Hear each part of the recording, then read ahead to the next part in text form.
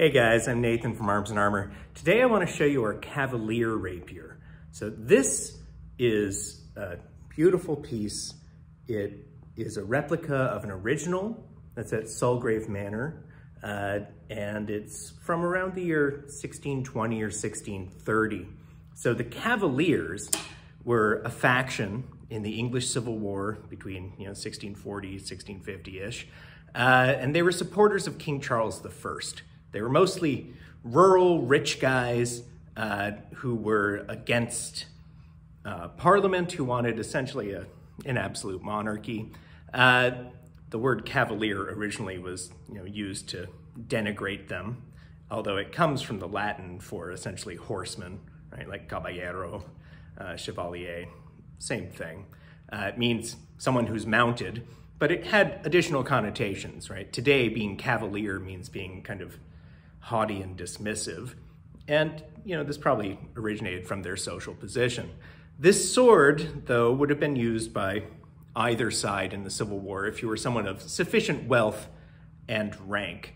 Uh, this piece is uh, a wide-bladed war rapier, I would call it. So it has the hilt of a rapier, but a wider and heavier blade that is as effective in the cut as in the thrust.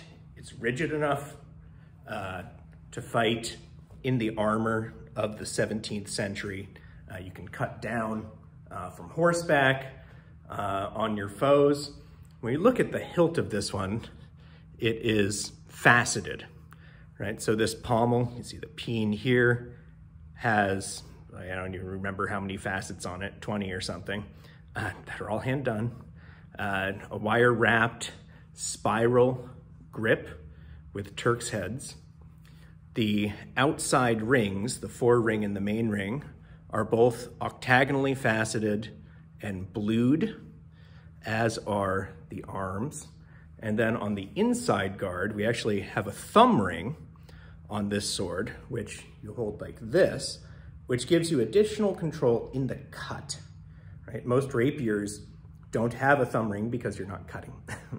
so this is something that exists in basket hilted cutting swords frequently in some of these war rapiers and in some sabers, Polish sabers, Hungarian sabers sometimes, that were used primarily for mounted combat, also fighting on the ground, but mostly mounted. Uh, the, these bars on the inside guard are also faceted uh, including the root here. It's hard to see because of the bluing, but it is additionally octagonal. The ricasso here allows you to place your finger comfortably up on the blade, which allows the pommel to rest against kind of the pad of your palm, and it gives you some additional leverage. This sword weighs about three pounds, right? There's a lot of metal in the hilt, and the blade is stout. Uh, so it's a substantial sword and you want to be able to have that balancing point on your hand, right? The center of gravity is about, oh, three inches out uh, from the ricasso.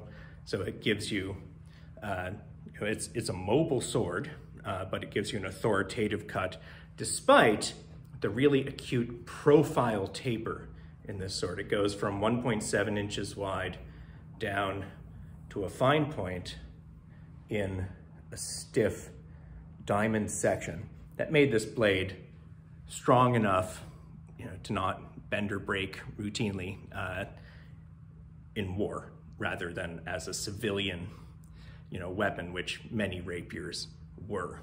So this piece uh, check it out on our website. We have it temporarily unavailable to order, mostly just because we're trying to catch up on all of our rapier orders. This will become available again, but if you're interested in one, you can drop us an email. We can put you on essentially the wait list for when we decide to make these uh, available again. Uh, we usually do them blued. They don't have to be, right? They can be bright. Uh, heck, you can have it gold plated if you want. Uh, That would be super fancy. King Charles would be proud of you if you did that. Check it out. Thank you.